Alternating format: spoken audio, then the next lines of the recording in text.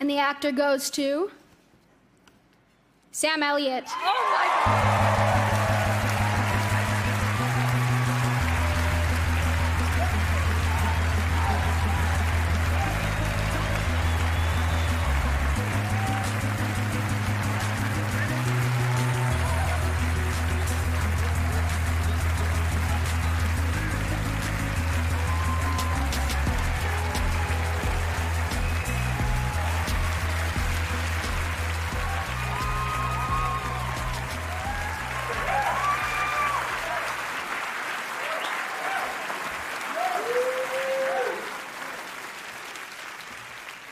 Oh.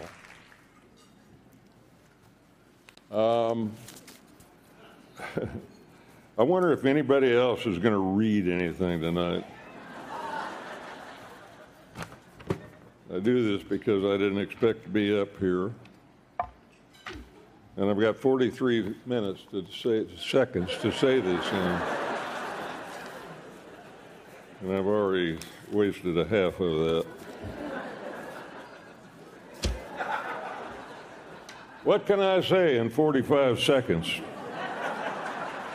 After just receiving the most meaningful acknowledgement of my 55 year career,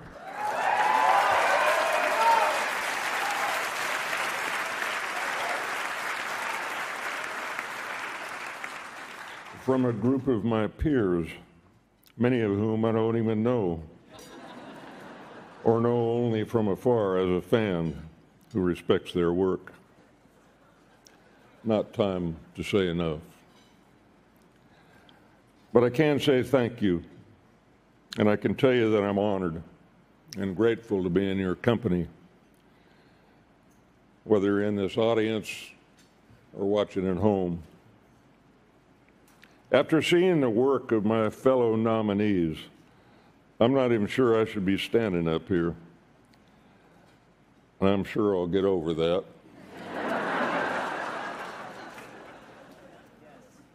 I'm going to treasure this guy, this gal, because it comes from all of you, my brothers and sisters from SAG AFTRA. I'll treasure it as a constant reminder of 1883 and what a gift it was to all of us on both sides of the camera. To my incredible castmates. There's a piece of this for all of you, not only for who you are, but for your beautiful work that helped me find the way. I love you all for that. Thank you, Taylor Sheridan, for your brilliant script. And David Glasser and everyone else at 101. Thank you to Paramount. Thank you to my team, David, Laura, and Becca. And thank you to my wife,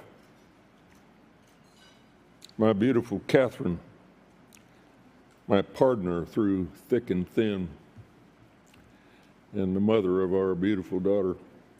Thank you, ladies and gentlemen.